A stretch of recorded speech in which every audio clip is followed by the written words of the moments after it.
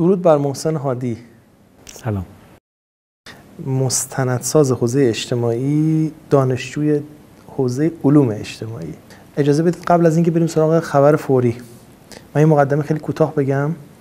علی نیکبخت که یکی از بهترین مستندسازان حوزه اجتماعی ماست چند سال یک مجموعه مستندی رو کار کرد به نام انتقال پایتخت. و از دل این تحقیقات انتقال پایتخت یک طرح مستند در آورد. راجع به اینکه اگر در زل در تهران زلزله بیاد چه اتفاقهایی خواهد افتاد و ما چه کار می‌توانیم بکنیم؟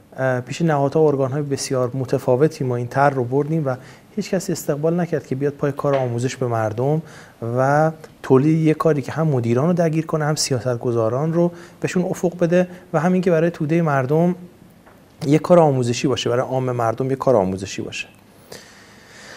گذشت تا اینکه دو سه هفته بعد از اینکه هیچ نهادی هیچ ارگانی هیچ سازمانی استقبال نکرد تهران زلزله اومد. و ما فکر می‌کردم که حتما دیگه با ما تماس می‌گیرن و میگن آقا بیاید یه کار راجع به زلزله تهران بسازید. و خب این اتفاق نیفتاد. و جالب اینکه سال بعدش گذشت و دوباره چندی پیش تهران زلزله اومد. آقا محسن این کار شما راجع به زلزله ایه که در تبریز اگر بیاد احتمالا چه اتفاقی خواهد افتاد یا اینکه حالا مسائلی که راجبش گفتگو خواهیم کرد. اما خیلی نکته عجیبیه. زلزله شاید یکی از بزرگترین بلاهایی که در ایران یعنی شما ببین مثلا منجیل رودبار بم کرمانشاه چه فاجعه بزرگیه. و بعد پرداخت به مسئله زلزله اصلا انگار دستور کار رسانه ها خارجه. مگر اینکه یه روزی زلزله بیاد همون روز راجبش مثلا یه سنتا صحبت بکنن که فلان گسل فعال شد. می‌دونی؟ حالا می‌خوام بگم که با این مصرف زلزله ولی باز شما به عنوان مستندساز اجتماعی رفتی تو حوزه شهرسازی و شهرنشینی و مسئله زلزله کار کردی. خب دغدغه از کجا شکل گرفت؟ چرا؟ بر من هم همینطوری شد یاسر. همین وقت من اینو ساختم توی تبریز پخش نکردن. یعنی. من برای شهرداری تبریز اینو ساختم. ولی اونجا پخشش نکردن. پخش نکردن. گفتم که خیلی تلاش کردم. گفتم بابا اینو شبکه استانی پخش کنه ببینن. نهایتا من گفتم که نه مردم نگران میشن. گفتم من اینو ساختم که مردم نگران بشن. خب؟ و موند تا اولین زلزله بعد از این فیلم. من فکر کنم مثلا یه سال بعدش. تبریز زلزله اومد. یعنی ببین محسن اصلا مسئله نیست که توی طرح داره ساخته نمیشه یه کاری که ساخته آره. شده هم آره. باز نمیان پای کار بخشش. همینه. و یادم حتی تو شورای شهرم بحثش شده بود. ما اون موقع یه, یه عضو شورا داشتیم دکتر شهرسازی داره.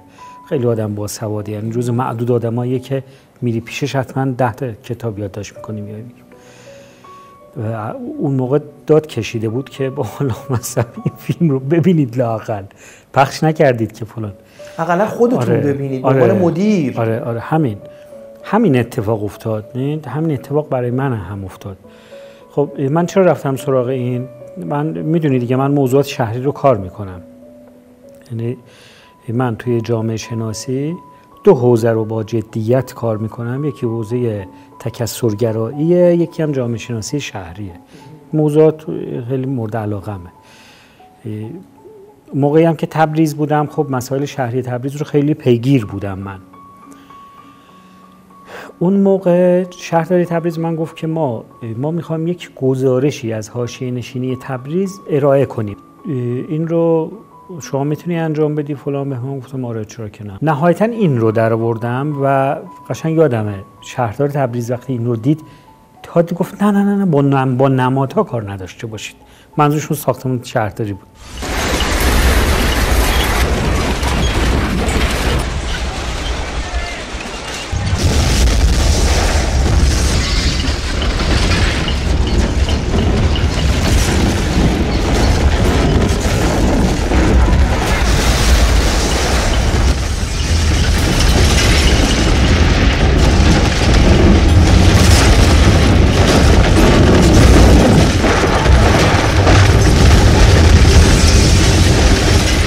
نمادها کار نداشته باشید. یعنی حسش این بود که انگار مثلا داره توهین میشه.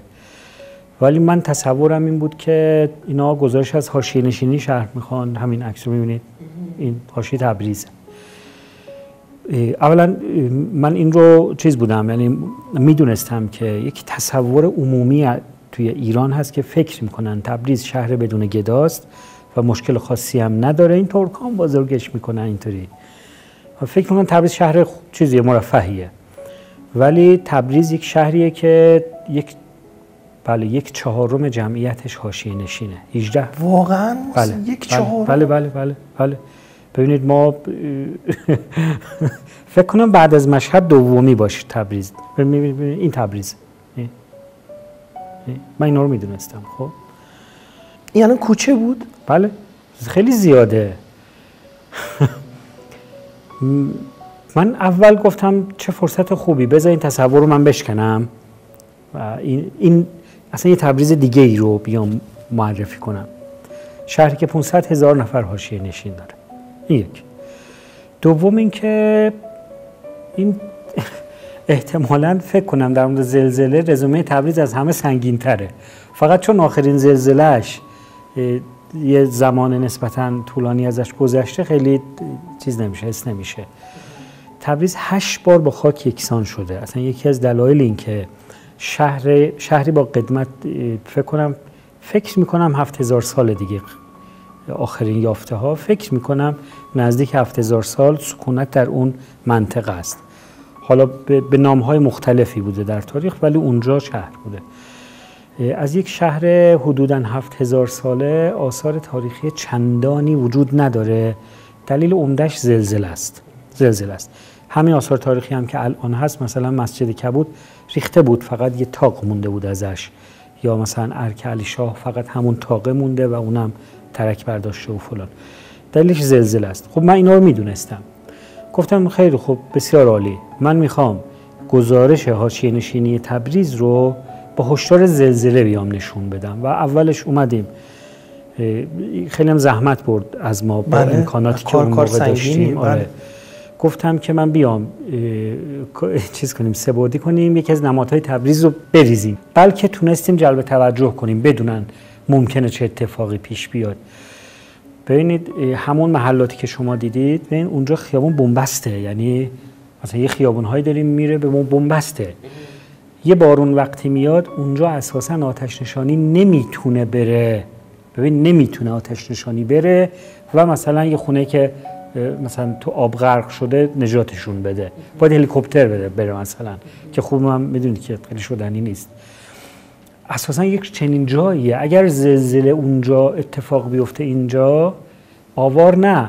آوار نه. خود مردم هم دیگه رو اصلا رو هم میرن و کشته میشن. اتفاق شبیه شاید مثلا منا پیش پیش بیاد اونجا. یه چنین جاهاییه. خیلی هم پر جمعیته خب تصور این بود که من بیام زلزله رو بازسازی کنم و بعدش بیام آمار ارقام بدم بگم که کجا حاشیه نشینیه چند نفر آدم هست چرا حاشیه نشینی ایجاد شد و چیکار باید کرد.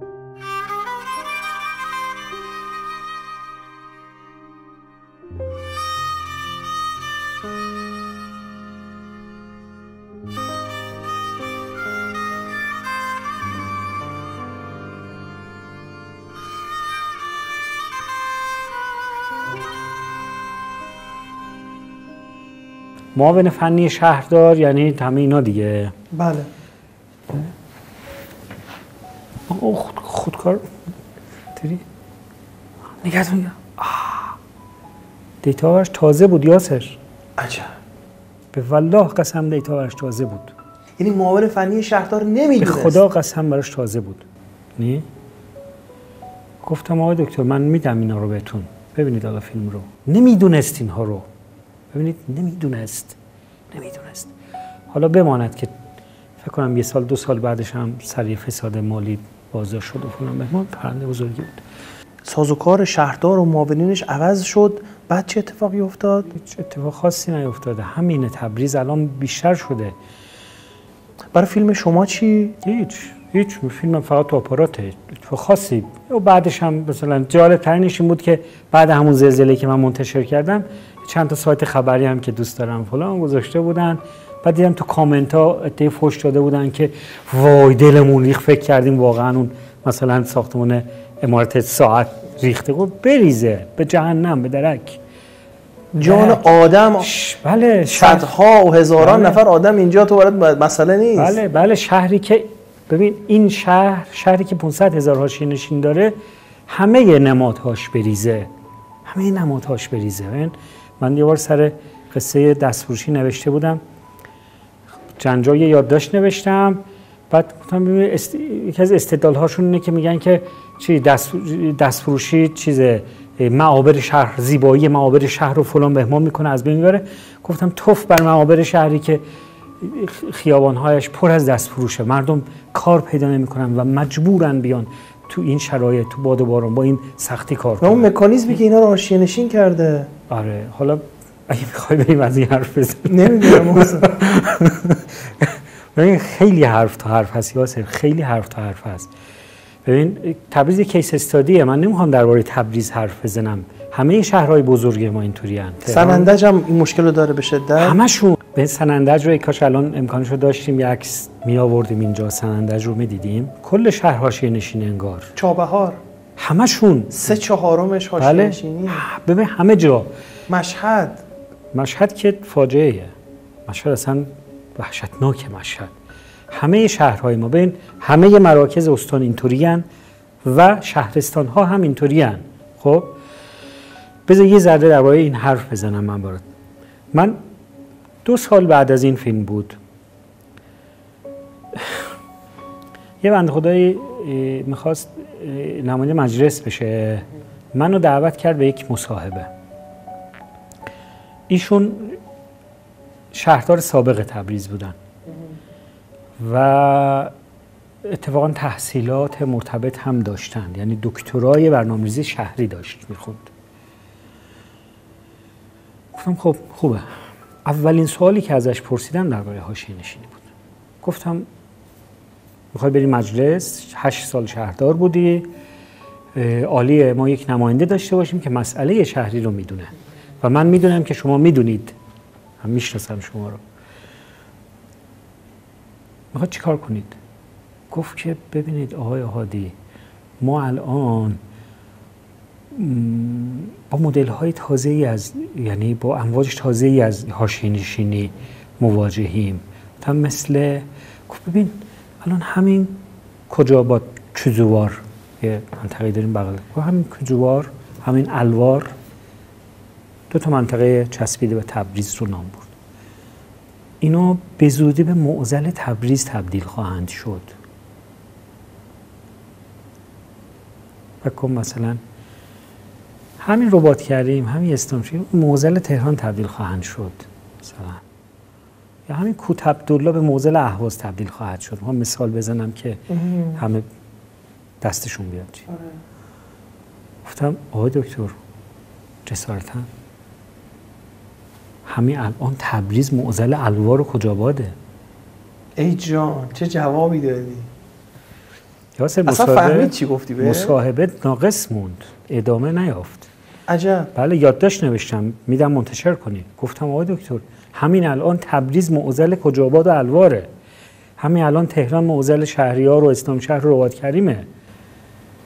یعنی چی؟ یعنی چی؟ گفتم یعنی شو تو که از من بهتر می‌دونی. این چه شهری ساختیم ما؟ چرا باید تبریز با شهری که فقط نیم ساعت با هم فاصله دارن سی چهل کیلومتر با هم فاصله دارن دسترسی ها رو ببین. اونجا بیمارستان نداره اینجا ده ها داره. اونجا دانشگاه نداره اینجا ده ها داره. اونجا فرصت شغلی نداره اینجا داره. اینجا بازار داره اونجا نداره. یلا ماشاءالله. ببین نسبتی رو در نظر بگیر.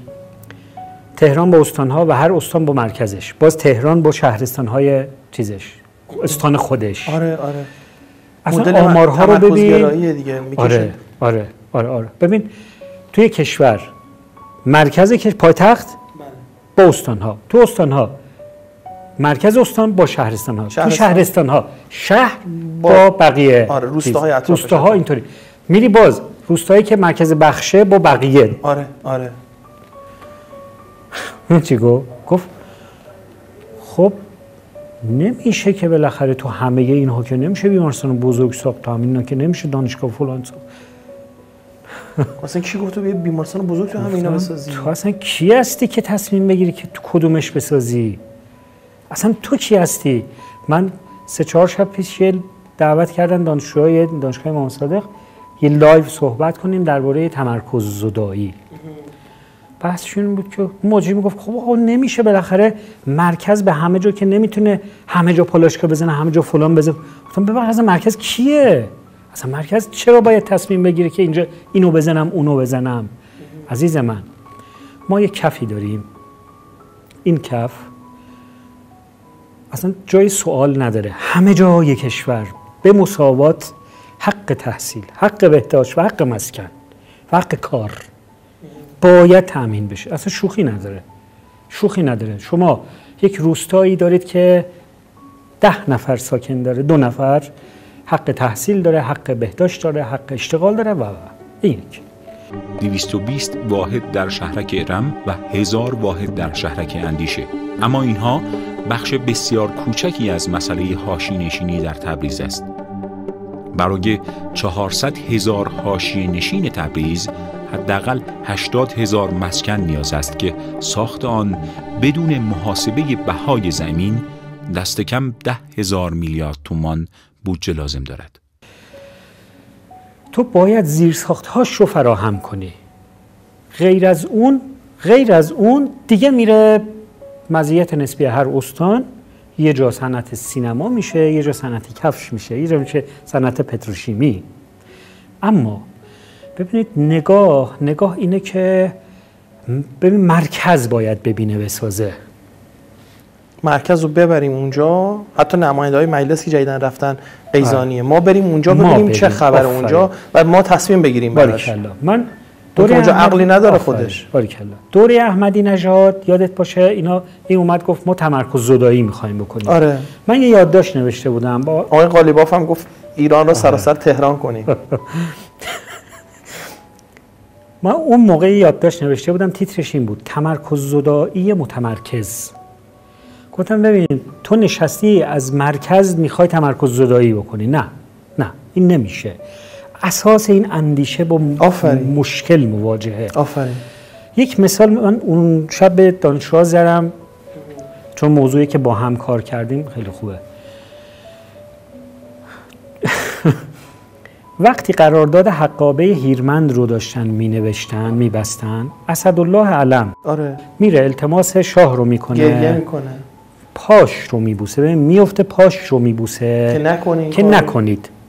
چرا؟ چون علم اونجایی بود و میشناخت و می‌دونست چه اتفاق خواهد افتاد و شد.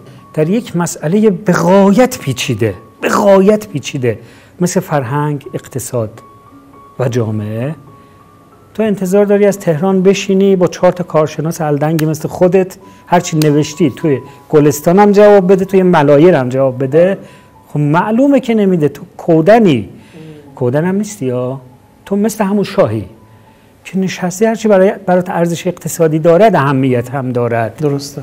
نتیجه یه چنین نگاهی این میشه که ما در کشور یک مرکز ایجاد میشه و یک پیرامونی. این مرکز نمود جغرافیایی هم داره ولی لزوما جغرافیایی نیست.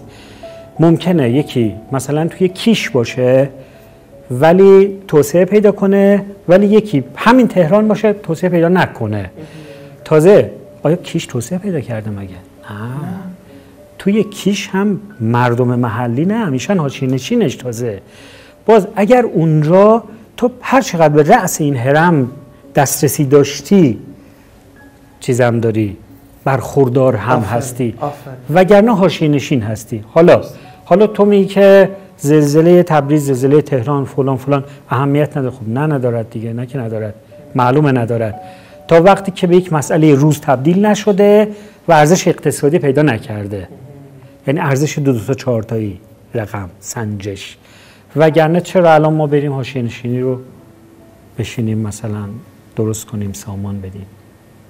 ببخشید زیاد گفتم. متشکرم محسن هادی عزیز بزرگواری.